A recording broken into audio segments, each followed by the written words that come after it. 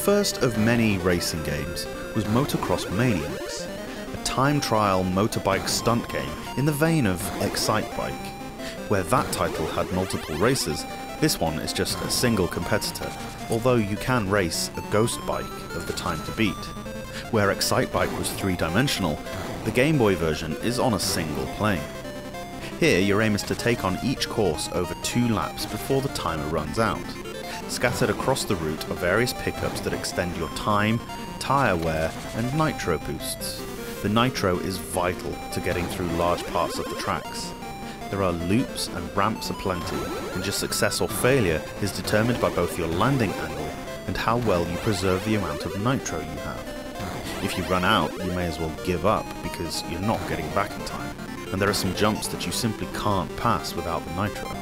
The problem therein being that there's no automatic restart, you have to wait for that timer to drop, so go for those pickups. You can also collect top speed boosts, but you lose these if you come off your bike. Hopefully, if you're a Game Boy fanatic, you can excuse poor graphics. Motocross Maniacs isn't a pretty game.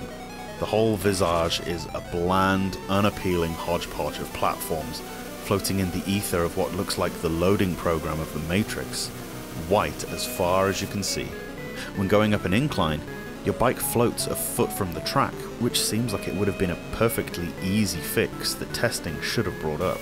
The music is pretty cool though, it serves as a good backdrop for a racing game, and the engine and boost sounds use the sound chip very effectively, so kudos there. Getting to grips with how the bike controls takes a while to get used to, but it's quite fun if you give it time.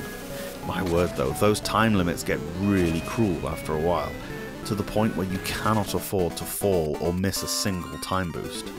There's a strange trick if you have a lot of nitro where you rapidly press the B button and you're propelled rocket-like in whatever direction your bike is facing. It's very useful if you're running out of time towards the end. Either the gravity is a little strange or the air is really thick, because you slow down mid jump in a way that doesn't feel Newtonian.